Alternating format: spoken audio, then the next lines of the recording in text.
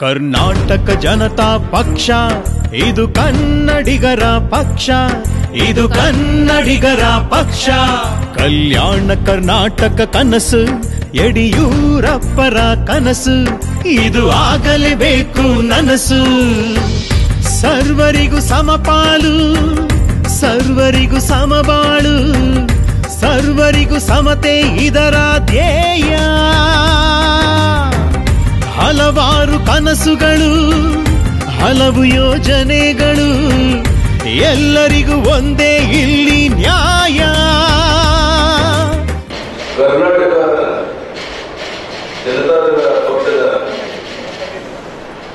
ಪರಿಶಿಷ್ಟ ಪಂಗಡ ವಿಭಾಗದ ಅಧ್ಯಕ್ಷರಾಗಿದ್ದ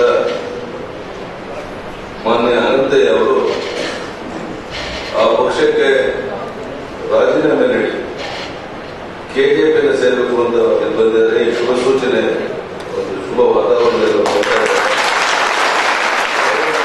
ಅನಂತಯ್ಯ ಅವರನ್ನ ನಿಮ್ಮೆಲ್ಲರ ಸಮಕ್ಷಮ ಕೆಜೆಪಿಗೆ ಅವರನ್ನ ಬರಮಾಡಬಹುದು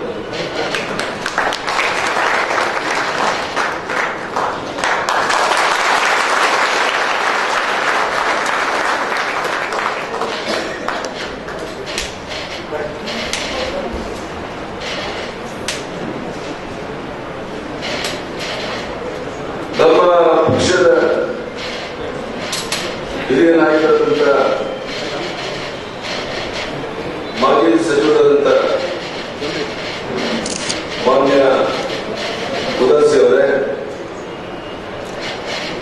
ಯುವ ಘಟಕದ ರಾಜ್ಯ ಅಧ್ಯಕ್ಷರಾದಂಥ ಜಗದೀಶ್ ಹಿರೇಮಠ ಅವರೇ ನಮ್ಮ ಪಕ್ಷ ಅಸ್ತಿತ್ವಕ್ಕೆ ಬಂದು ಇನ್ನು ನಾಲ್ಕು ತಿಂಗಳಾಗಿಲ್ಲ ಇಷ್ಟು ಬೇಗ ರಾಜ್ಯದ ಉದ್ಯಮಕ್ಕೆ ಇಷ್ಟು ಒಳ್ಳೆಯ ಯುವ ಘಟಕದ ಪದಾಧಿಕಾರಿಗಳ ಗುರುತಿಸಿ ಚುನಾವಣೆ ಸಮೀಪ ಬರ್ತಾ ಇರುವಂತಹ ಈ ಸಂದರ್ಭದಲ್ಲಿ ನಮ್ಮ ಪಕ್ಷದ ಅಭ್ಯರ್ಥಿಗಳ ಗೆಲುವಿನ ಜವಾಬ್ದಾರಿಯನ್ನು ನಿಮ್ಮ ಅಪೇಕ್ಷೆಯಿಂದ ಇಷ್ಟು ದೊಡ್ಡ ಯುವ ಗುಂಪನ್ನ ಇಲ್ಲಿಗೆ ಬರಮಾಡಿಕೊಳ್ಳುವಂತ ಪ್ರಯತ್ನವನ್ನ ನಮ್ಮ ರಾಜ್ಯದ ಅಧ್ಯಕ್ಷರು ಮಾಡಿದ್ದಾರೆ. ಒಮ್ಮೆ ವಾಪಸ್ ತಿರುಗಿ ನೋಡಿದ್ರೆ ನಿಜಕ್ಕೂ ಇಷ್ಟು ಬೇಗ ಇಷ್ಟು ದೊಡ್ಡ ಸಂಘಟನೆಯನ್ನ ಕಟ್ಟೋದಕ್ಕೆ ನಮಗೆ ಸಾಧ್ಯ ಆಯ್ತಾ? ಯಾಕೆಂದ್ರೆ ನಾನು ಹಿಂದೆ ಇದ್ದ ಪಕ್ಷದಲ್ಲೂ ಸಹ ಈ ರೀತಿಯ ಯುವ ಮುಖಂಡಗಳನ್ನ ನಾನು ನೋಡಿರಲಿಲ್ಲ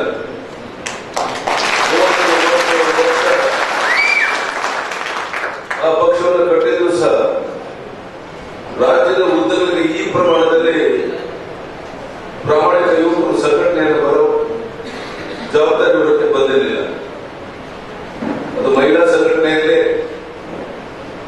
ರೈತ ಸಂಘಟನೆಯಲ್ಲಿ ಪರಿಶಿಷ್ಟ ಜಾತಿ ಪರಿಶಿಷ್ಟ ವರ್ಗದ ಸಂಘಟನೆಯಲ್ಲಿ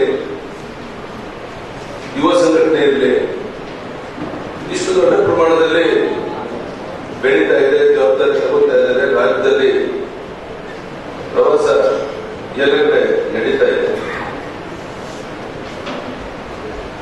ಸಂಘ ಶಕ್ತಿ ಕರೋಯುಗೆ ಎಂಬುದು ಅರ್ಜುನನ ಒಂದು ಸಂದೇಹದ ಮಾತಿಗೆ ಭಗವಂತ ಶ್ರೀಕೃಷ್ಣ ಕೊಟ್ಟಂತ ಉತ್ತರ ಕಲಿಯುಗದಲ್ಲಿ ಸಮಾಜದ ಸಮಸ್ಯೆಗೆ ಉತ್ತರ ಕೊಡುವಂತ ಶಕ್ತಿ ಇರುವಂತದ್ದು ಸಂಘಟನೆ ಒಂದಕ್ಕೆ ಮಾತ್ರ ಎಂಬುದರ ತಾತ್ಪರ್ಯ ಅನ್ನೋದು ಗೊತ್ತಿರುವಂತದ್ದು. ಇವತ್ತು ರಾಜ್ಯದ ಉತ್ತರಕ್ಕೆ ಈಗಾಗಲೇ ನೂರೆರಡು ಜನ ಅಭ್ಯರ್ಥಿಗಳು ಒಂದು ಸಾರಿ, ಎರಡು ಸಾರಿ ಪಟ್ಟಿ ಮೂರನೇದು ನಲವತ್ತೊಂದು ಜನರ ಪಟ್ಟಿಯನ್ನು ನಾವು ಇವತ್ತು ಬಿಡುಗಡೆ ಮಾಡಿದ್ದೇವೆ.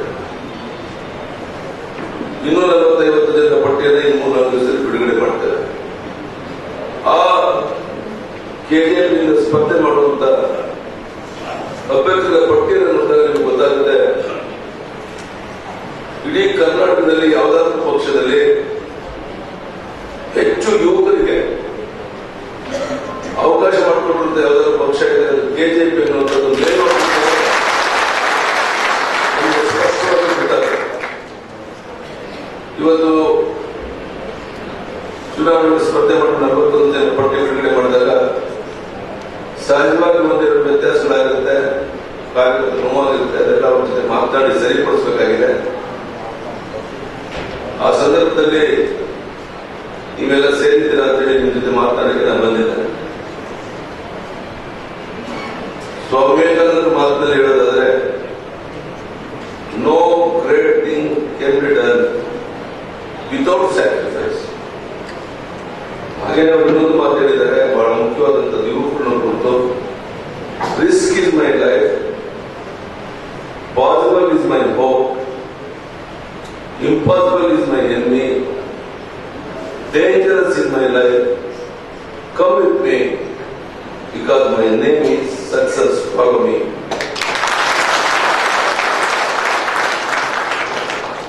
ಸ್ವಾಮಿ ಅಂತೂ ಈ ಮಾತನ್ನು ಹೇಳಿದ್ದಾರೆ.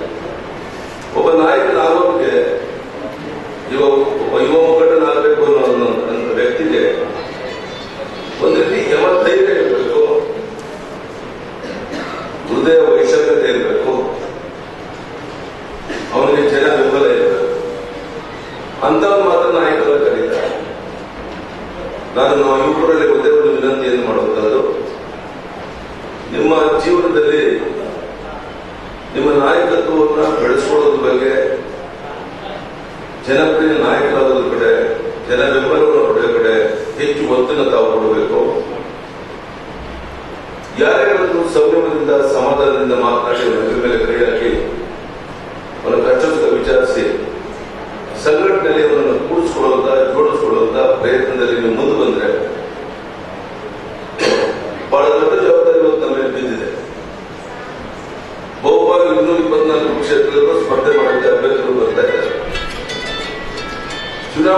ದಿನಾಂಕ ಘೋಷಣೆ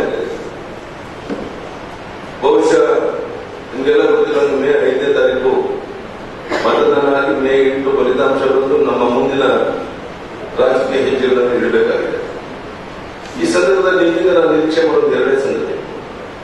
ಒಂದು ಅಂತ ಹೇಳಿದ್ರೆ, ನಮ್ಮ ನಮ್ಮ ವಿಧಾನಸಭಾ ಕ್ಷೇತ್ರಗಳಲ್ಲಿ ನಮ್ಮ ಅಭ್ಯರ್ಥಿಯ ಪರವಾಗಿ ಕೆಲಸ ಮಾಡುವಂತ ಪ್ರತಿ ಬೂತ್ನಲ್ಲಿ ಒಂದು ಹತ್ತು ಜನ ಯುವಕರನ್ನ ನೀವು ಕೂಡ್ಸಕ್ಕೆ ಸಾಧ್ಯ ಆದ್ರೆ ಹತ್ತೇ ಜನ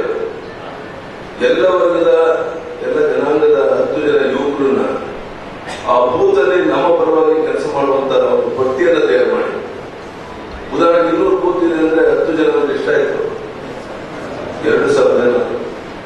ಅವರು ಈ ಕೆಲಸದಲ್ಲಿ ತೊಡಗಿಸಿದ್ರೆ ಬಹುಶಃ ನಮ್ಮ ಅಭ್ಯರ್ಥಿಯನ್ನು ಹಿನ್ನಡೆ ಮಾಡಕ್ಕೆ ಯಾರಿಗೂ ಸಾಧ್ಯ. ಬೇಕಾದ್ರೆ ಇನ್ನೂರ ಇಪ್ಪತ್ನಾಲ್ಕು ಕ್ಷೇತ್ರನೂ ಬೇಡ. ಒಂದು ನೂರ ಇಪ್ಪತ್ತೈದು ನೂರ ಮೂವತ್ತು ಕ್ಷೇತ್ರದಲ್ಲಿ ನಾವು ಮೊದಲನೇ ಸ್ಥಾನದಲ್ಲಿದ್ದೇವೆ. ಅದನ್ನಾದ್ರೂ ಪಟ್ಟಿ ಮಾಡಿ. ಅಲ್ಲಿ ಪ್ರತಿ ಬೂತಲ್ಲಿ ಈ ರೀತಿ ಒಂದು ಹತ್ತು ಜನ ಯುವಕರನ್ನ ಜೋಡಿಸುವಂತ, ಕೂಡಿಸುವಂತ ಪ್ರಯತ್ನ ನೀವು ಮಾಡಿದ್ರೆ, ಜಿಲ್ಲೆಯ ಜವಾಬ್ದಾರಿ ಹೊತ್ತಿರುವಂತವರು ಈ ನಿಟ್ಟಿನಲ್ಲಿ ಪ್ರಯತ್ನ ಮಾಡಿದ್ರೆ, ನನಗನ್ಸುತ್ತೆ ಮತದಾರರ ಸಹ ಮತದಾರರು ಕರ್ಕೊಂಡು ಬಂದು ಮತದಾನ ಕೇಂದ್ರದಲ್ಲಿ ಓಟ್ ಹಾಕಿಸೋದ್ರಿಂದ ಯಶಸ್ವಿಯಾದ್ರೆ ಬಹುಶಃ ನಮ್ಮ ಅಭ್ಯರ್ಥಿಗಳು ನಮ್ಮ ನಿರೀಕ್ಷೆ ಮೀರಿ ಚುನಾವಣೆಯಲ್ಲಿ ಗೆಲ್ತಾರೆ ಅನ್ನುವಂಥ ವಿಶ್ವಾಸ ನನಗಿದೆ ಇವತ್ತು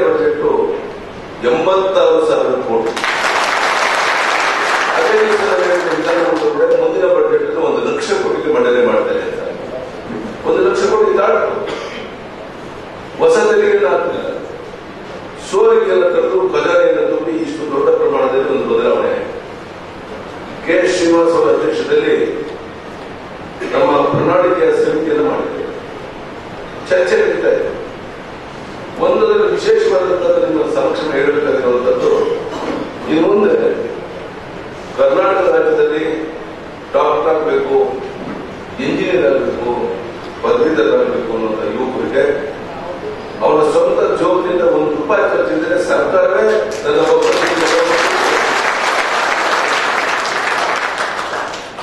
ಈ ರೀತಿ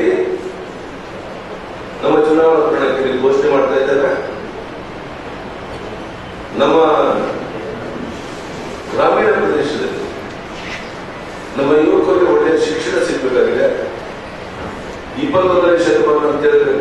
derecede bana.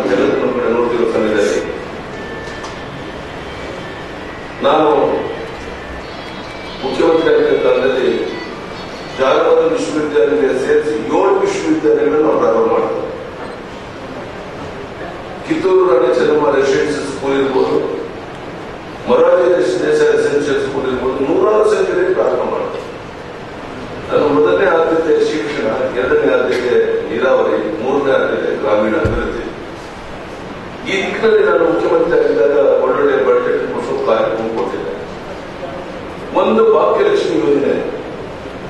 ಇಡೀ ದೇಶದ ಜನರ ಗಮನ ಸೆಳೆದಿದೆ. ನರೇಂದ್ರ ಮೋದಿ ಅವರು ಗುಜರಾತ್ನಲ್ಲಿ ಇದನ್ನು ಅನುಷ್ಠಾನಗೊಳಿಸಬೇಕು ವಿವರವನ್ನು ತಗೊಂಡು ಹೋದ ಚುನಾವಣೆ ಸಂದರ್ಭ ಈ ಭಾಗ್ಯಲಕ್ಷ್ಮಿ ಯೋಜನೆಯನ್ನ ಕೇವಲ ಬಡವರಿಗೆ ಸೀಮಿತವಾಗಿರ್ತೇನೆ ಮಧ್ಯಮ ವರ್ಗದ ಜನರು ವಿಸ್ತರಣೆ ಮಾಡಬೇಕು ಅಂತ ನಾನು ತೀರ್ಮಾನ ಮಾಡಿದೆ. ಅಂದ್ರೆ ತೆರಿಗೆ ಕೊಡದೇ ಇರುವಂತ ತೆರಿಗೆ ಕಟ್ಟದೆ ಅವರನ್ನು ಬಿಟ್ಟುಕೊಳ್ಳೋದು ಎಲ್ಲರೂ ಸಹ. ಭಾಗ್ಯಲಕ್ಷ್ಮಿ ಯೋಜನೆ. ಎಲ್ಲರ ಮನೆಗಳಲ್ಲಿ ಮಕ್ಕಳು ಪದವೀಧರಾಗಬೇಕು ಡಾಕ್ಟರ್ ಆಗಬೇಕು ಇಂಜಿನಿಯರ್ ಆಗಬೇಕು ವೆಚ್ಚ ನಾವೇ ಕೊಡಿಸುವಂತದ್ದು ಹೆಣ್ಣು ಮಕ್ಕಳಿಗೆ ವಿಶೇಷವಾಗಿ. ಎರಡು ಸಾವಿರ ಕೋಟಿ ರೂಪಾಯಿ ಖಜಾನೆಯಲ್ಲಿಟ್ಟು ಒಂದು ವಿಶೇಷವಾದಂತ ಗ್ರಾಮೀಣ ಬ್ಯಾಂಕ್ ಅನ್ನು ಆ ಹೆಣ್ಣು ಮಕ್ಕಳಿಗೆ ಹೈನುಗಾರಿಕೆಗೆ ಕುಡಿ ಕೈಗಾರಿಕೆಗಳಿಗೆ ಬೇಕಾದಂತಹ ಕಡಿಮೆ ಬಡ್ಡಿ ಎಲ್ಲ ರೀತಿಯ ಸಾಲ ಸವಲತ್ತು ಕೊಟ್ಟು ಸ್ಟ್ರೀಟ್ ಸುಧಾರಿಸಿಕೊಳ್ಳಲು ಸಹಾಯ ಮಾಡಿ. ಹೆಣ್ಣು ಮಕ್ಕಳು ಆರ್ಥಿಕವಾಗಿ ಸ್ವಾವಲಂಬಿಗಳಾಗಬೇಕು ಅನ್ನೋ ದೃಷ್ಟಿಯಿಂದ ಕಾರ್ಯಕ್ರಮ ರೂಪಿಸ್ತಾ ಇದೆ ಬಹುಶಃ ನಮ್ಮ ಚುನಾವಣಾ ಪ್ರಣಾಳಿಕೆ ನೀವು ಕಲ್ಪನೆ ಮಾಡ್ಕೊಳ್ಳೋಕ್ಕಾಗದೇ ನಿಟ್ಟಿನಲ್ಲಿ ವೈಶಿಷ್ಟ್ಯಪೂರ್ಣವಾಗಿರುತ್ತೆ ನನ್ನ ಈ ಪಕ್ಷದ ಉದ್ದೇಶ ಈ ರಾಜ್ಯದ ನೆಲ ಜಲ ಭಾಷೆ ಸಂಸ್ಕೃತಿ ಈ ವಿಚಾರದಲ್ಲಿ ಕಾಂಪ್ರಮೈಸ್ ಆಗಬಾರದು ಈ ನಾಡಿನ ನೆಲ ಜಲ ಭಾಷೆ ಸಂಸ್ಕೃತಿ ಹಾಗೆಯೇ ರಾಷ್ಟ್ರೀಯ ವಿಚಾರಗಳಿಗೆ ಧಕ್ಕೆ ಬರುವ ನಿಟ್ಟಿನಲ್ಲಿ ಈ ಪಕ್ಷವನ್ನ ಬಲವಾಗಿ ಕಟ್ಟಬೇಕು. ಕೇಂದ್ರ ಸರ್ಕಾರ ಏನೋ ರಾಜ್ಯಗಳನ್ನ ಒಂದು ರೀತಿ ಮನತಾಯಿ ಧೋರಣೆಯಿಂದ ನೋಡ್ತಾ ಇದೆ ಯಾವ ಸರ್ಕಾರ ತಂದೆ ಮಗನ ಸಂಬಂಧ ಇರಬೇಕು ತಾಯಿ ಮಗನ ಸಂಬಂಧ ಇರಬೇಕು, ಅದು ಹೋಗಿ ನಮ್ಮನ್ನು ಪುರಾಣದಂತೆ ಅವರೇನೋ ಕೊಡೋರು ನಾವೇನೋ ಹೆಚ್ಚಾಗಿ ಭಿಕ್ಷೆ ಬೇಡೋರು ವಾತಾವರಣ ಏನಿದೆ ಎಲ್ಲ ಕೇವಲ ನನ್ನ ಗುರಿ ಕರ್ನಾಟಕದಲ್ಲಿ ಕೆಜೆಪಿ ಅಧಿಕಾರಿ ತರೋದು ಮಾತ್ರ ಅಥವಾ ಕೇವಲ ನನ್ನ ಗುರಿ ಯಡಿಯೂರಪ್ಪನ ಮುಖ್ಯಮಂತ್ರಿ ಮಾಡಿಕೊಳ್ಳೋದು ನನ್ನ ಮಾತ್ರ ಅದಲ್ಲ ನನ್ನ ಉದ್ದೇಶ ಬರುವಂತ ಲೋಕಸಭಾ ಚುನಾವಣೆ ಒಳಗಡೆ ನಾವು ಒಂದು ನಾಲ್ಕು ಸೀಟ್ ಲೋಕಸಭೆ ಗೆದ್ದು ಕೇಂದ್ರ ಸರ್ಕಾರ ಏನೇ ಮಾಡೋದಾದ್ರೂ ಸಹ ರಾಜ್ಯ ಸರ್ಕಾರದ ಅಭಿಪ್ರಾಯ ಕೇಳಿದೆ ಡೆಲ್ಲಿಯಿಂದ ಬೆಂಗಳೂರಿಗೆ ಯಡಿಯೂರಪ್ಪ ನೋಡಿಕೊಂಡು ಪ್ರಧಾನಿ ಬರಬೇಕು ಅವರ ಸಂಬಂಧ ಸಚಿವರು ಬರಬೇಕು ನಾನು ಯಾವಾಗ ಸಾಧ್ಯ ಆಗುತ್ತೆ?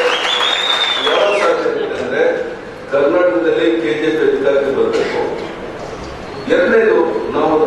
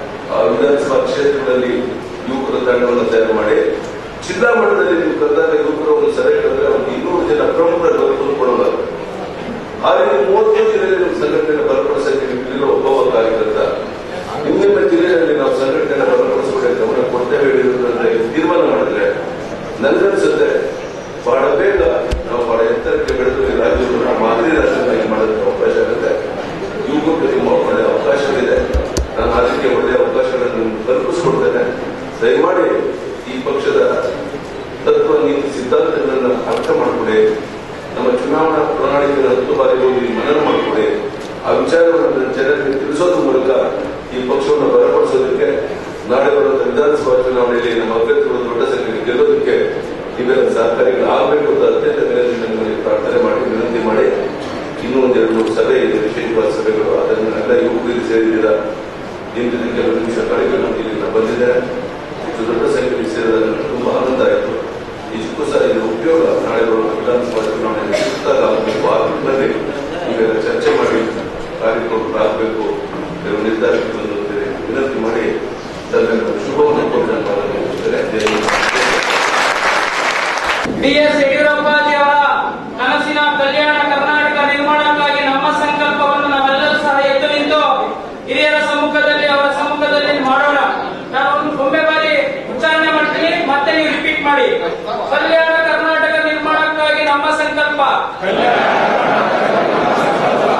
ಸನ್ಮಾನ್ಯ ಶ್ರೀ ರಾಜ್ಯಾಧ್ಯಕ್ಷರಾದಂತಹ ಬಿ ಎಸ್ ಯಡಿಯೂರಪ್ಪಾಜಿ ಅವರೇ